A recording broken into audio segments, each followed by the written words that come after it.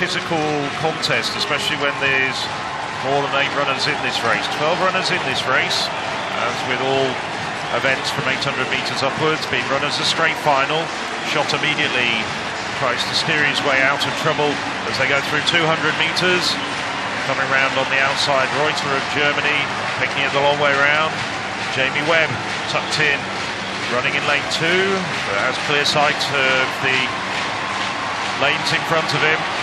Kramer at the moment on the inside, so it's Kszczot, Reuter, Webb is coming around the outside. Kotitsas 53-58, so pretty good pace at this stage. And it's Kotitsas getting to the front now. Well, Kotitsas hasn't got many international credentials, but he's certainly giving this a go. Kszczot tracking him, Reuter, the tall German. De Arriba coming round the long way is really starting to pick up the pace now. So it's the diminutive Spaniard, De Arriba, who hits the front. And Kszczot struggling at the moment. He found himself just boxed slightly now. He's trying to work his way out of the pack. Coming around the inside, 200 metres to go. He's got ground to make up on De Arriba. De Arriba at the front, really working very, very hard. Kszczot, though, has got all the tools in his armoury. And Kszczot just pulls away majestically to take 12 points from Poland. Jamie Webb, excellent run from the Briton, coming through for 11 points. And De Arriba hangs on to take 10 points with third place for Spain. Well, that's in some respects went to form. Kszczot, a man who's run 143.30, gone under 145 this year, and very much the crowd favourite, and he does rise to the occasion. Following him home, well, exciting talent. Britain, Jamie Webb doing very well this year, and De Arriba, who has a whole host of international experience.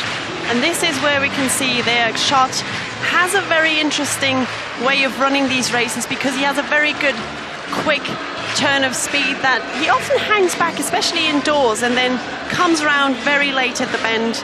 I know he's been struggling with illness quite a bit as well. He did race quite a few Diamond League races, but every time was very much trying to stay out of everyone's way because he was ill. But here we can see now getting back into his shape that we've seen so many times from him in championship races there with a very strong finish overtaking De Arriba, pulling away and then Webb coming through strongly. Also on the outside, Andreas Kramer looking good, as you said, also been struggling with injury, the Swede there, as he moves all the way out, almost in lane four, to overtake Reuter, the German. Yes, very pleased to see Andreas Kramer coming back to a modicum of his form, a very talented runner indeed. Still not quite to his best, that's pretty obvious, but he's still got a good six weeks before the World Championships in Doha. The sun has come out now and just beginning to dry out the Śląski Stadium here in Poland. This could be a good opportunity for Great Britain to uh, narrow the gap once more on Poland because things could go down to the wire and those two countries should be strong in the 4x4 relays that end the day. Barontini, though, just the early leader for Italy from Garcia, Spain, and then Borkowski. Now you can see there, bottom left of your screen, that's the expected pace graphic. Brilliant introduction this year that we also had at the European Indoor Championships, as you may have seen. So just beginning to up that pace, 146, changing all the time. Barontini leading from Garcia, and then Borkowski and Wightman starting to make a move on the outside.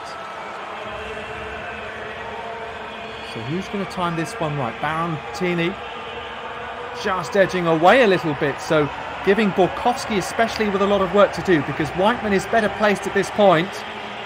And so as Wightman moves through, that will give a chance for Borkowski to do so as well.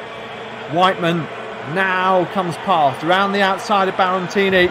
Got nothing left to respond. So it is these two that we expected, with Garcia also looking to finish fast.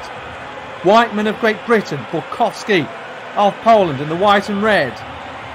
Now stringing out down the home straight. Jake Wightman away and clear. Borkowski going to be beaten into second place, is he? Close battle for second. Wightman takes maximum points for Britain though. Garcia and then Borkowski, then early leader Barontini.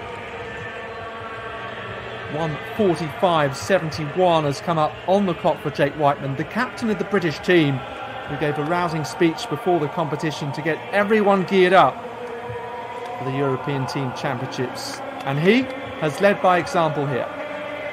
Well, it was a brilliantly executed race, wasn't it, by Jake Wightman as we're looking here at the closing stages of the race. So, Wightman finds himself just in absolutely the right position to attack as Barontini starts to struggle a little bit. Borkowski, well, I think he just gave him a metre or two from the bell, which was possibly a little bit unwise. Should have kept closer contact with Wightman, and Wightman down the home straight was pulling away nicely with Garcia finding a second wind and an extra gear to come through and get good points for Spain, but no doubt at all about it. Jay Wightman, absolutely commanding display from the British team captain, leading by example. Garcia looking good as he was coming down as Borkowski starts to struggle and just drifts back to third place.